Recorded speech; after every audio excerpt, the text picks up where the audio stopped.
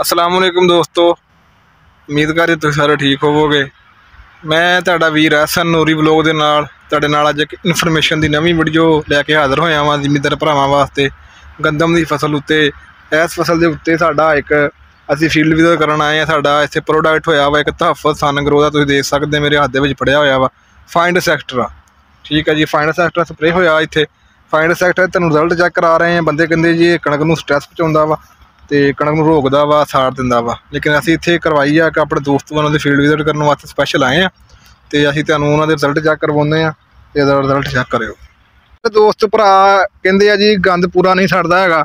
ਠੀਕ ਆ ਜੀ, ਤੁਹਾਨੂੰ ਹੁਣ ਮੈਂ ਕੱਲੀ ਕੱਲੀ ਚੀਜ਼ ਚੈੱਕ ਕਰਵਾ ਦਿੰਨਾ ਵਾ।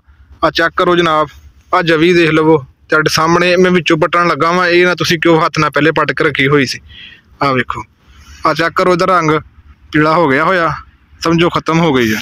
ਉਸ ਤੋਂ ਬਾਅਦ ਆ ਲੈ ਲਈ ਚੈੱਕ ਕਰੋ। ਇਹਦਾ ਵੀ ਰੰਗ ਬਦਲ ਗਿਆ ਹੋਇਆ। ਤਕਰੀਬਨ ਅਜੇ 15 ਦਿਨ ਹੋਏ ਆ ਸਪਰੇਅ ਕੀਤੀ ਨੂੰ 15 ਵੀ ਨਹੀਂ ਹੋਏ, ਘੱਟ ਹੋਏ ਹੋਏ ਆ।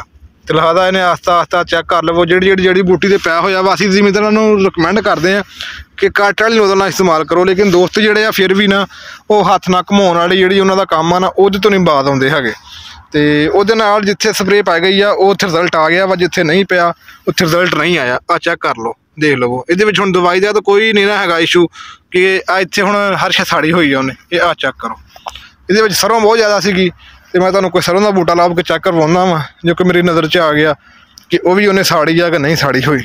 ਇਹ ਹਾਂਜੀ ਆ ਲਓ ਜੀ ਆ ਚੈੱਕ ਕਰੋ ਜਨਾਬ ਆ ਸਰੋਂ ਦਾ ਬੂਟਾ ਵਿੱਚ ਉਹਦੇ। ਆ ਦੇਖੋ, ਉਹਦਾ ਵੀ ਉਹਨੇ ਕੰਮ ਤਮਾਮ ਕਰਤਾ ਹੋਇਆ।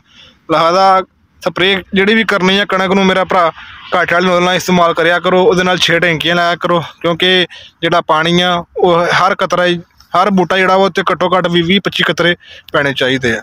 ਵੀਡੀਓ ਅੱਛੀ ਲੱਗੇ ਲਾਈਕ ਸ਼ੇਅਰ ਕਮੈਂਟ ਜ਼ਰੂਰ ਕਰਨਾ। ਅਸਲਾਮ ਵਾਲੇਕੁਮ